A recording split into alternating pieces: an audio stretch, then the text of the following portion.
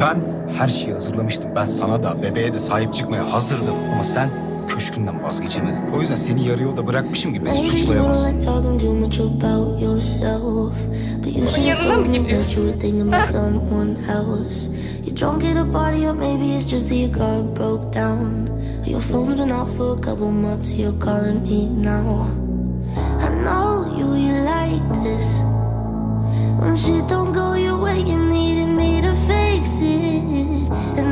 And like me, I did. But I've been out of every reason. Now suddenly you're asking for it back. Could you tell me where'd you get the nerve? Yeah, you could say you miss all that we had.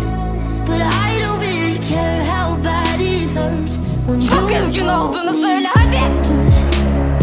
Keşke hiçbir şey böyle olmasa.